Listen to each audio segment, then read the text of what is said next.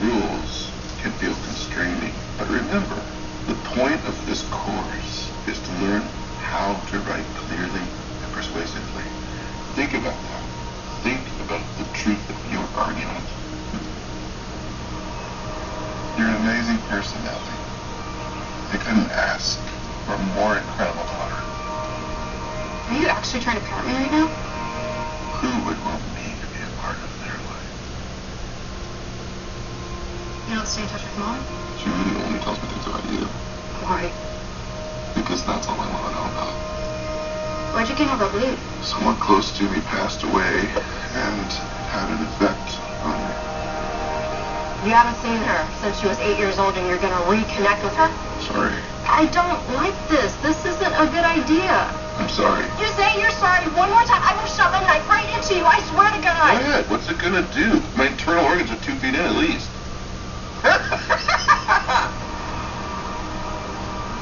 Why do you suddenly need to see her so bad? Why now? Liz. I'm worried that she's forgotten what an amazing person she is. I need to know that she's gonna have a decent life where she cares about people and that she's gonna be okay.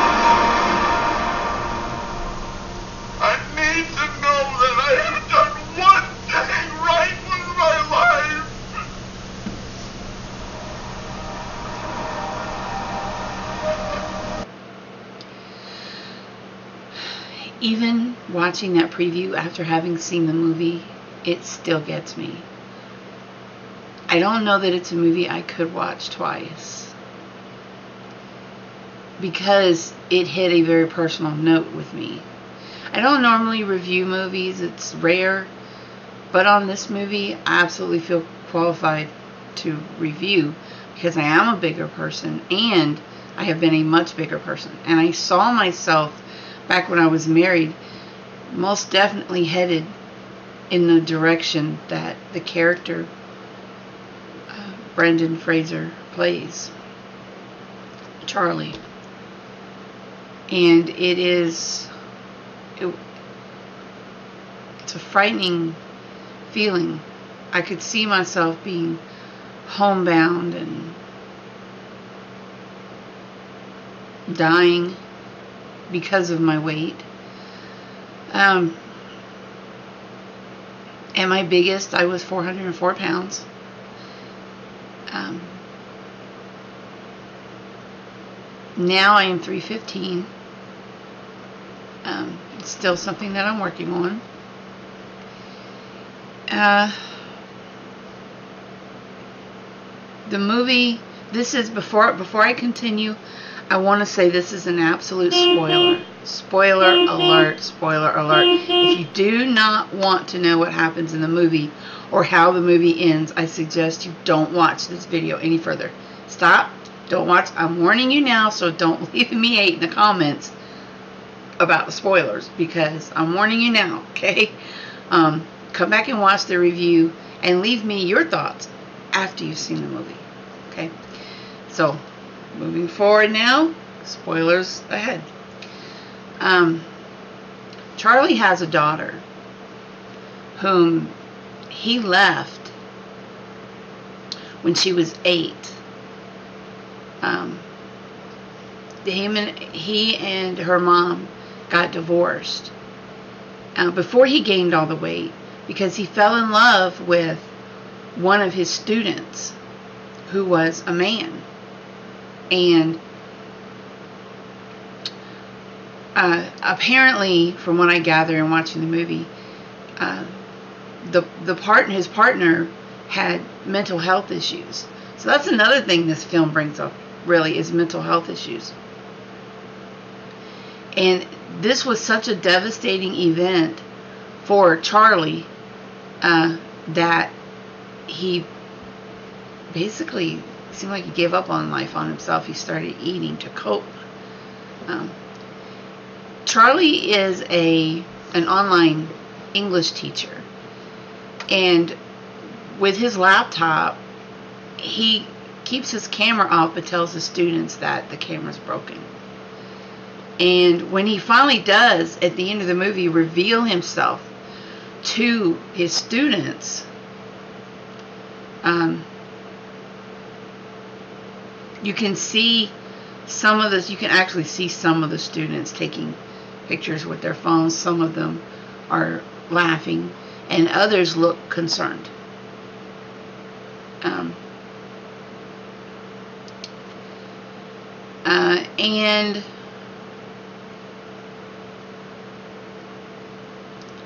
his he hadn't seen his daughter in like so so long, and um, so he like give offers her all the money in his bank account, and all the money he's been saving from working as a teacher because he doesn't go anywhere.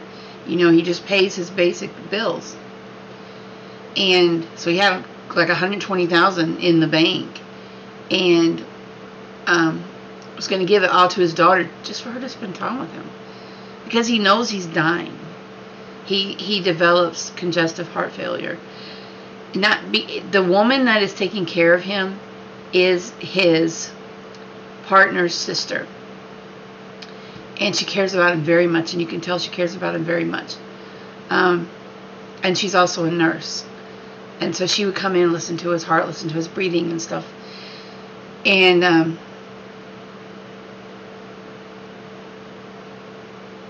whether he if he laughs or gets excited or whatever, it's too much on his heart, you know. And he starts choking and coughing, and um, and he almost does choke in one scene, and it it shows really how difficult it is to give the Heimlich to a person that heavy. Um, you know, she has to rock him and get him to roll over to to knock himself against the arm of the couch. And um, to get the food out. And these two are very close. She she is so grateful to Charlie because of the love that he gave her brother while he was alive. And she said she you know, I guess he felt guilt about it too. He tried to he tried to save him, you know. And he makes a good point in the movie that no one person can save anybody. You know, and that, that's a really good point because a person has to want to be saved. They got to do it themselves. And he, and so back to Liz. Liz is her name. Now I, I recognize Liz right away as the an enabler because Charlie doesn't. He can order food, which he does, and but but he doesn't. He can't go grocery shopping because of his size. And she brings him these meatball subs with cheese and, and she brings him his food to him. And and and I was actually kind of irritated with her her character because I'm like, Liz is an enabler here. You know, but I, I mean, I don't know. He refused to go to the doctor. He absolutely would not go to the hospital because he didn't want to spend any of the money that he had saved. He wanted it all to go to his daughter. And I guess I guess he just Charlie is someone to me who seems like he just gave up. And there's one part that I totally can relate to. There's one part in the movie and it's I believe it's essentially I think it's his last day of life. Um, if not, it's the day before. And um, he's so angry at his condition, you know, and I think the subject of, of his of Alan is his partner's name. Alan's death was brought up, and and so he just starts eating this, this pizza he that he ordered, eating the pizza, eating the pizza, and then he was on the second pizza, and he just sits in front of the fridge on this big wheelchair that he's in, and just pouring ranch dressing on it, and just eating and eating until he finally throws up the reason I can relate to that is because back when I was in, I was still in high school.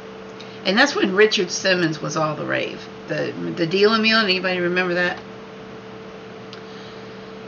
And I had become so tired of hearing put downs at school.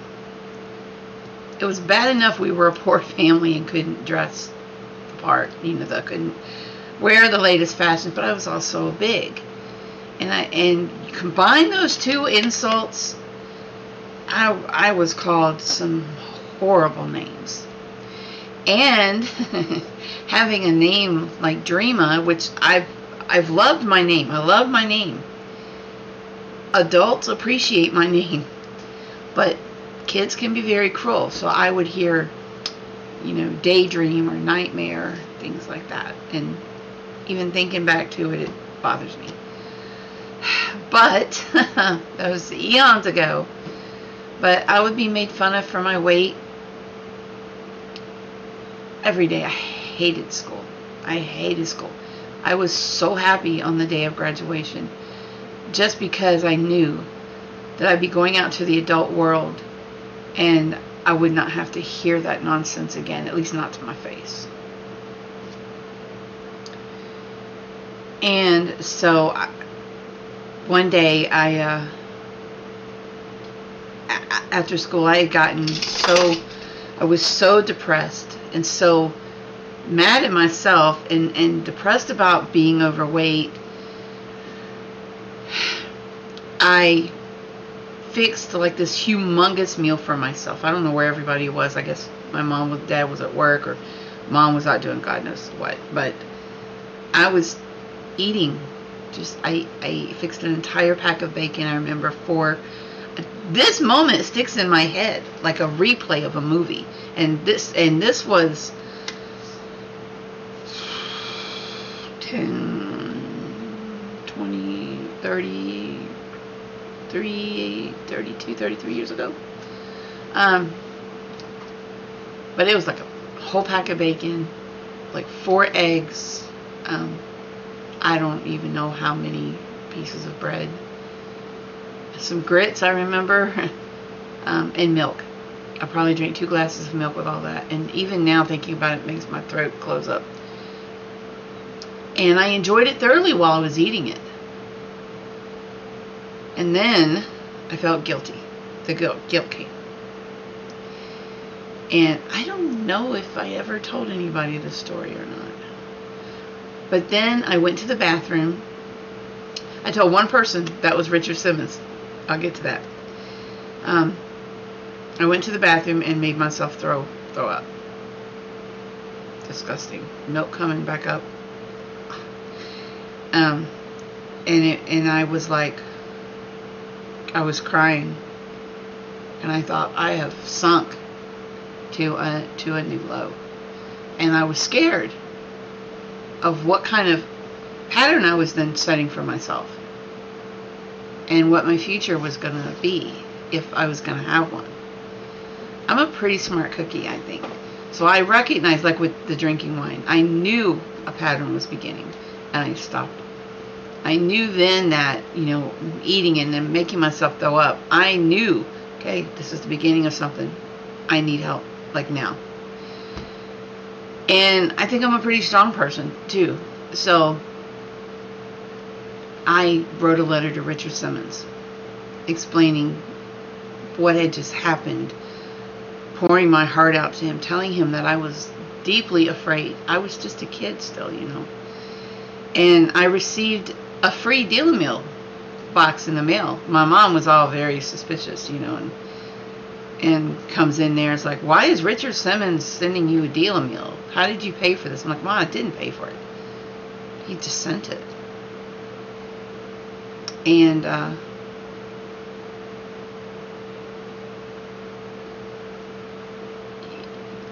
it's a whole nother view. Just trying to explain to my mom what what I was dealing with was just a pointless thing. So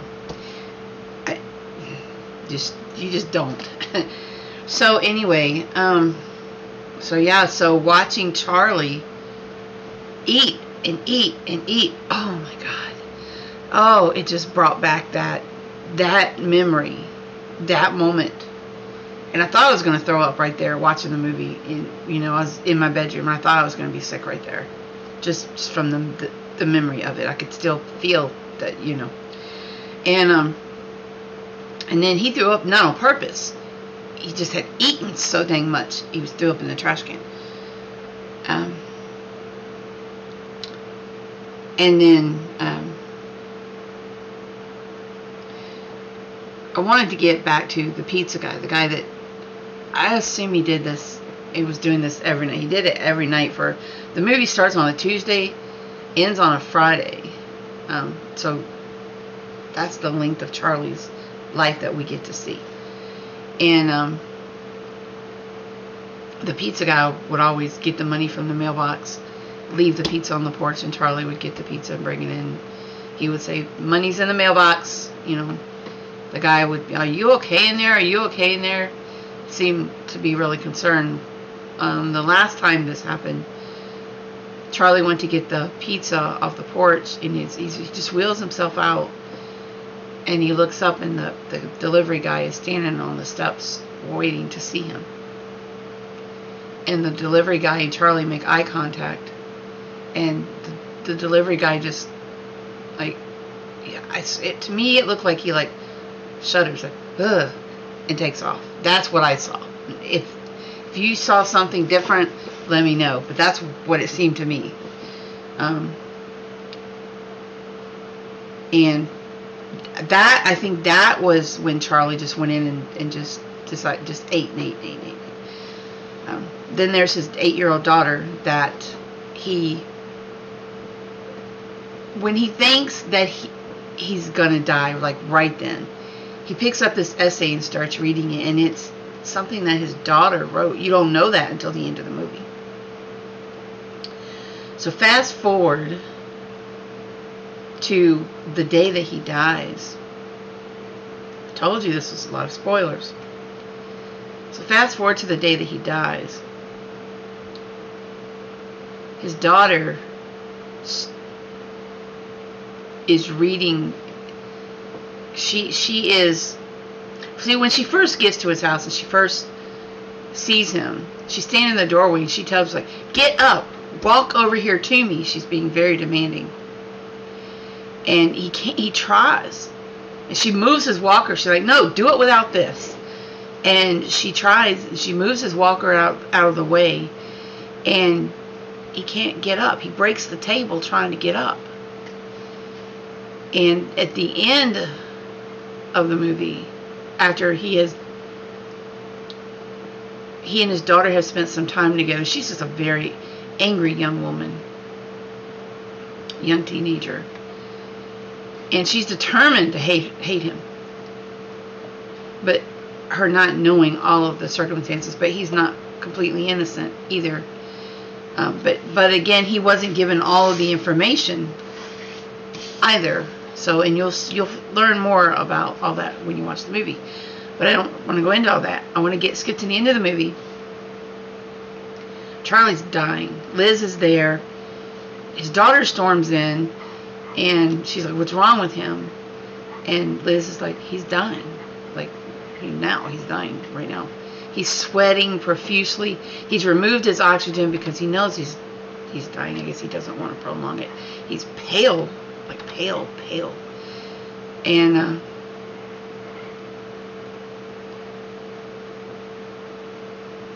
he asked her to read the essay. She never forgets anything. She, she's got a very, very good memory. And because she wants him, the whole reason she's there is so he'll do her homework for her. Because she was failing in, in school. And he was paying her to be there.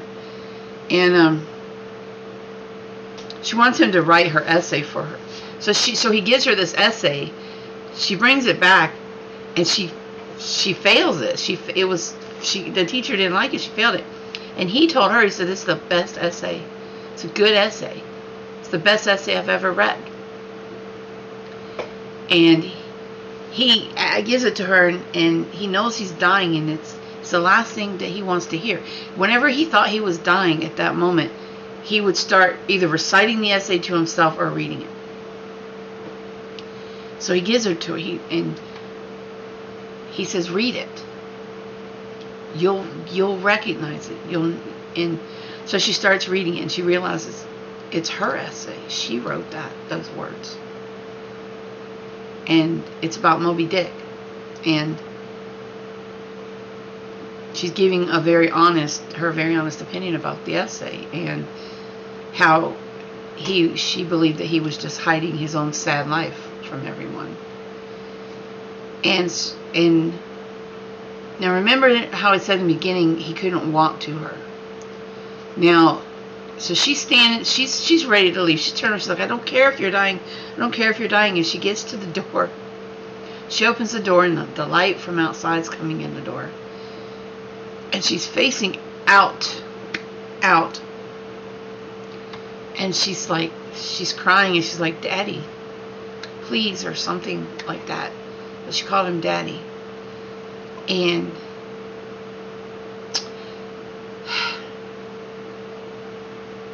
she turns around.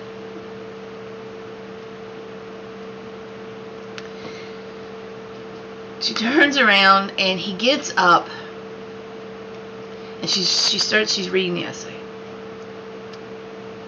And he gets up with every last bit of strength that he has, putting all this pressure on his already failing heart. He stands up and he takes this step towards her. And he managed to take two or three steps, and and she walks towards him, still reading her essay to him. And then he walks the rest of the way, and so they're in front of each other, and she's reading the essay. And then he remembers. He was telling her before about it, his favorite moment was when they were on the beach together. And um, so that that was the last time that they were all together. And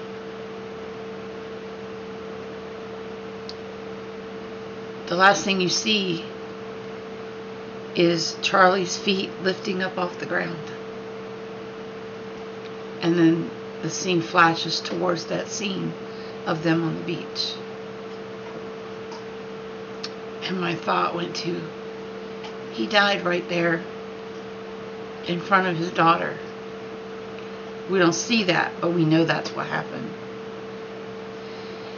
And like, do you ever, when you watch a movie and the movie ends, in your mind, do you kind of make up what happened after? That's what I was doing. I was like, oh, you know, thinking of how she must have felt to watch her dad die, and of course, having lost my own father and my stepdad. The emotions just.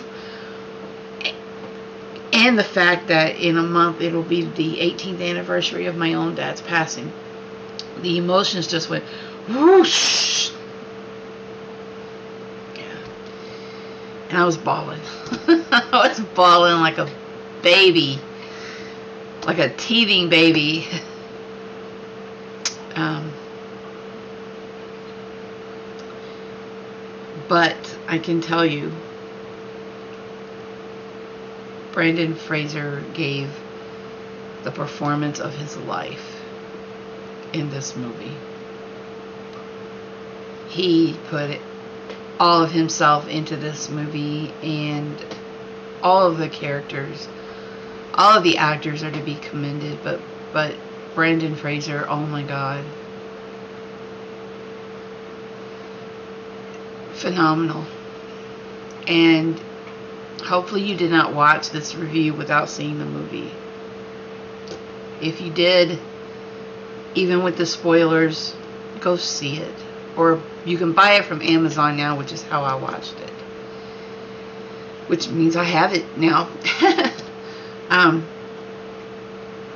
but but you you should watch it. And if you watch this movie and feel no compassion or sympathy,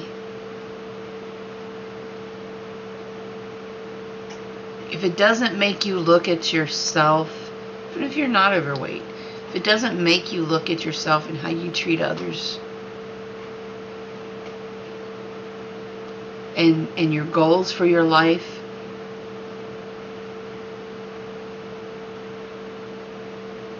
something missing in you. The whale.